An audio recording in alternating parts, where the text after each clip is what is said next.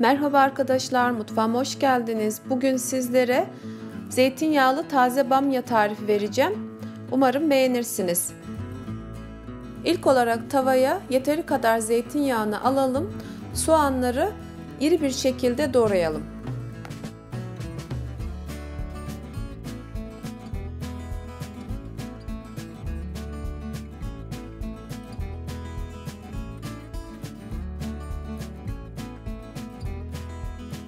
Soğanları 1-2 dakika kavuralım.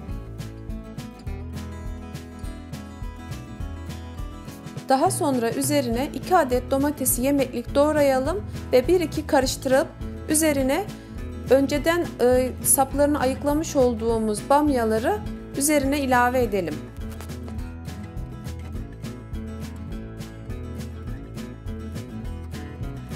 Bir iki karıştırıp üzerine yemeğin uzamaması için yarım çay kaşığı kadar limon tuzu ilave edelim.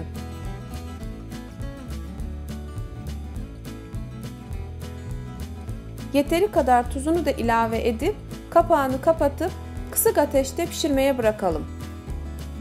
Yemeğimiz bir 5-6 dakika piştikten sonra kapağını açıp kontrol edelim. Eğer Yemeğin suyu azalmış ise ya domatesler suyunu salmamış ise üzerine yarım su bardağı kadar su ilave edip kapağını kapatıp kısık ateşte pişene kadar yemeğimizi pişirelim. Pilavımız için tavaya yeteri kadar sıvı yağ alıp şehriyeleri kavuralım. Daha sonra üzerine bir yemek kaşığı tereyağı ilave edip önceden yıkamış olduğumuz pirinci üzerine ilave edelim ve pirinçler tane tane olana kadar güzelce kavuralım.